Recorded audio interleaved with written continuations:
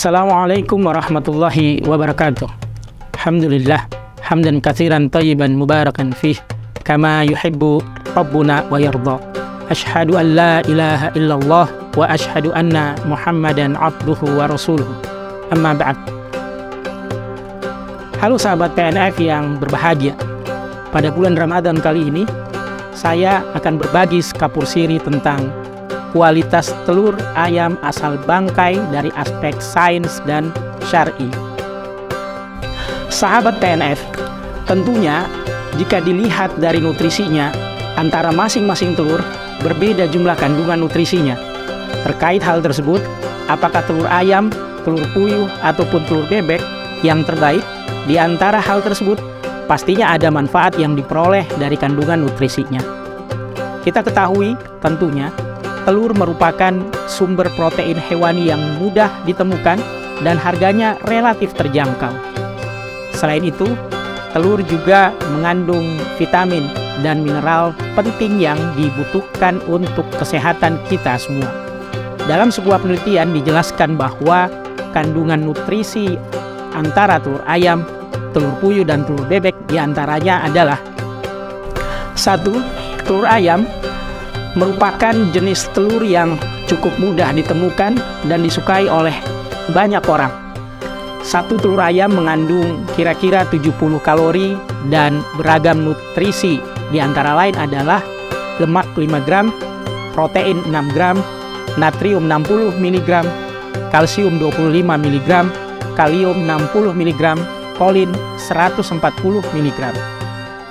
Telur ayam yang dijual di pasaran biasanya terbagi menjadi dua jenis, yakni telur ayam negeri dan telur ayam kampung.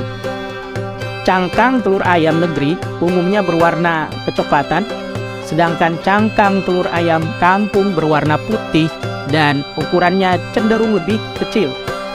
Kandungan nutrisi telur ayam kampung tidak berbeda jauh dengan telur ayam negeri. Namun, ayam kampung diduga memiliki gen khusus yang membuat telurnya lebih bersih dari bakteri salmonella dibandingkan telur ayam negeri. Yang kedua adalah telur puyuh. Merupakan telur yang berasal dari burung puyuh. Berbeda dengan telur ayam, telur puyuh memiliki ukuran yang jauh lebih kecil. Cangkangnya pun berwarna krem dengan bercak coklat dan hitam. Walaupun berukuran kecil, telur puyuh juga kaya nutrisi loh satu porsi telur puyuh terdiri dari 4 hingga 5 butir telur. Berikut adalah perkiraan kandungan nutrisi satu porsi telur puyuh, yakni kalori 75 kalori, lemak ada 5,5 gram, protein 6,5 gram, natrium 25 mg, kalsium 8 mg, kalium 110 mg, kolin 30 mg. Selain itu, telur puyuh juga kaya akan antioksidan yang berfungsi untuk menangkal radikal bebas memperbaiki sel-sel tubuh yang rusak dan dipercaya mampu mengatasi gejala alergi. Telur bebek memiliki ukuran yang lebih besar daripada telur ayam dan puyuh. Cangkang telur bebek pun lebih unik karena berwarna biru kehijauan. Berikut adalah perkiraan kandungan nutrisi pada satu butir telur bebek. 146 kalori, lemak 11 gram, protein 10 gram, natrium 345 mg, kalsium 50,5 mg, kalium 175 mg, kolin 165 mg. Kandungan antioksidan pada telur bebek diduga dapat melindungi jaringan tubuh dari segala kerusakan, bahkan mampu meringankan gejala alergi. Itulah sebabnya telur ini baik diberikan kepada bayi yang berisiko mengalami alergi atau sering sakit. Walaupun kadar proteinnya tidak setinggi telur bebek atau telur puyuh, bukan berarti telur ayam tidak bermanfaat. Telur ayam tetaplah sumber protein yang baik. Selain itu, telur ayam cenderung lebih murah dan mudah untuk didapatkan. Baik telur ayam, telur puyuh maupun telur bebek boleh diberikan kepada anak-anak. Namun tentunya harus dipastikan bahwa telur yang diberikan adalah telur yang segar. Selain itu konsumsi telur juga dianjurkan sebanyak 2 hingga 3 kali per minggu. Baik itu diolah secara direbus, digoreng, ataupun mencampurkan telur ke dalam makanan. Tentunya memasak telur hingga benar-benar matang secara sempurna. Dikarenakan telur yang masih setengah matang bisa mengandung bakteri Salmonella yang menyebabkan keracunan makanan.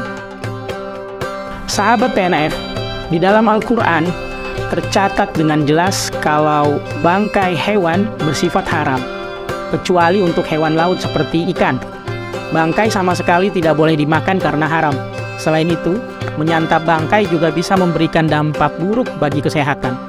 Seperti yang ditulis dalam surah Al-Baqarah ayat 173 yang menyatakan bahwa إنما حرم عليكم الميتة والدم ولحم الخنزير وما أهل به لغير الله فمن اضطر غير باغ ولا عاد فلا إثم عليه إن الله غفور رحيم Sesungguhnya dia mengharamkan atasmu bangkai, darah, daging babi, dan hewan yang disembeli dengan menyebut nama selain Allah.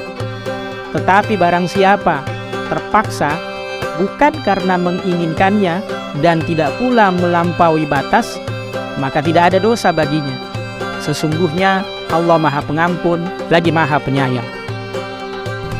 Dalam surat tersebut disebutkan secara jelas bahwa bangkai atau dalam kasus ini ayam mati merupakan salah satu yang diharamkan untuk dikonsumsi oleh manusia. Dari segi kesehatan, daging ayam mati akan menimbulkan masalah kesehatan. Berikut beberapa bahaya yang ditimbulkan dari konsumsi ayam mati atau bangkai ayam. Satu, daging ayam tiren yang disembelih pengeluaran darahnya tidak tuntas sehingga menjadi media berkembang yang sangat disenangi oleh kuman. Apabila dikonsumsi oleh manusia, akan menyebabkan masalah pencernaan dan keracunan.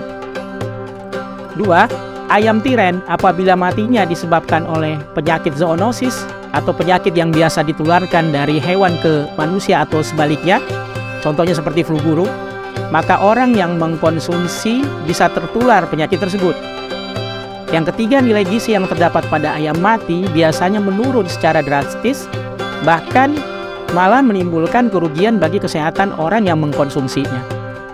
Bakteri seperti E. coli dan Salmonella dalam daging ayam mentah termasuk yang paling mudah mengganggu kesehatan. Sahabat TNF, ternak hewan merupakan salah satu mata pencaharian bagi sebahagian orang. Dengan beternak hewan, mereka mendapatkan berbagai macam rezeki yang dapat menjamin keberlangsungan hidup yang mereka jalani. Sebagian dari jenis ternak hewan yang cukup banyak ditekuni oleh masyarakat kita adalah ternak hewan unggas, khususnya adalah ayam. Ternak ayam menjadi pilihan sebagian masyarakat karena cukup menjanjikan untuk dijadikan sebagai objek mata pencaharian. Mulai dari ternak ayam potong sampai ayam petelur. Khusus dalam ternak ayam petelur ini, sering terjadi berbagai problem yang dialami oleh para peternak. Salah satunya adalah terkait status telur di dalam ayam yang sudah mati tanpa disembeli secara syar'i. Masihkah telur tersebut halal untuk dikonsumsi? Mengingat induknya telah menjadi bangkai. Dalam menyikapi status telur tersebut, ulama berbeda pendapat dalam tiga pandangan. Pertama, status telur tersebut dihukumi bisa disucikan dan dapat dikonsumsi ketika kondisi telur sudah mengeras. Berbeda halnya ketika kondisi telur masih lentur dan permukaan telur belum berwujud kulit telur seperti yang biasa kita lihat. Maka telur tersebut dihukumi najis dan tidak dapat dikonsumsi. Pendapat ini merupakan pendapat mayoritas ulama. Kedua, status telur yang berada di dalam induk yang menjadi bangkai adalah suci secara mutlak. Baik kondisi permukaan telur itu sudah mengeras maupun belum mengeras.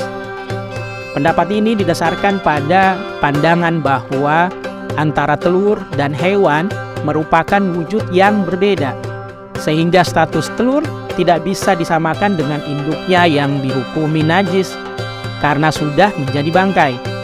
Pendapat ini merupakan pendapat Imam Abu Hanifah. Ketiga, status telur yang berada di dalam induk yang telah menjadi bangkai adalah najis secara mutlak. Pendapat ini berdasarkan pandangan bahwa telur yang masih belum terpisah dari induknya atau masih di dalam perut dihukumi persis sama dengan induknya yang telah menjadi bangkai sehingga dalam keadaan bagaimanapun statusnya adalah najis dan tidak dapat dikonsumsi. Pendapat ini adalah pendapat yang diungkapkan oleh Imam Malik. Ketiga pendapat yang dijelaskan di atas di antaranya ditemukan di dalam kitab Hayat Al-Hayawan Al-Kubra yakni cabang permasalahan status telur yang terdapat di dalam hewan burung yang mati terdapat tiga pendapat seperti yang disampaikan oleh Al-Mawardi, Ar-Rawyani, dan Asy-Syashi. Pendapat yang paling sahih adalah pendapat Ibnu Al-Qattan dan Abi Al-Faid yang juga dipastikan oleh mayoritas ulama bahwa ketika telur sudah mengeras, maka telur tersebut suci. Namun jika telur tidak mengeras, maka telur tersebut najis. Pendapat kedua, telur yang terdapat dalam perut hewan burung yang mati bersatus suci secara mutlak. Pendapat ini seperti yang disampaikan oleh Abu Hanifah dengan dalil telur tersebut sudah bisa dibedakan dengan hewan yang mati, maka telur tersebut lebih serupa dengan anak hewan yang masih hidup di dalam perut induk yang telah mati. Pendapat ketiga, telur tersebut berstatus najis secara mutlak. Pendapat ini dikemukakan oleh Imam Malik sebab telur ketika itu belum berpisah dari induknya dan merupakan bagian dari hewan burung. Imam Al-Mutawalli juga menyampaikan pendapat tersebut dalam penjelasan Imam Ash-Syafi'i. Namun, penukilan tersebut dianggap aneh dan merupakan pendapat yang syad serta lemah menurut Kamaluddin Muhammad bin Musa Ad-Damiri dalam Hayat Al-Hayawan Al-Kubra juz 1 halaman 462. Demikianlah dalam rangkaian Skapur Siri bulan Ramadan. Semoga bermanfaat bagi kita semua. Lebih dan kurangnya saya mohon maaf. Terima kasih. Selamat menjalankan ibadah puasa Ramadan. Subhanakallahumma wa bihamdik asyhadu an la ilaha illa anta astaghfiruka wa atubu ilaik. Assalamualaikum warahmatullahi wabarakatuh.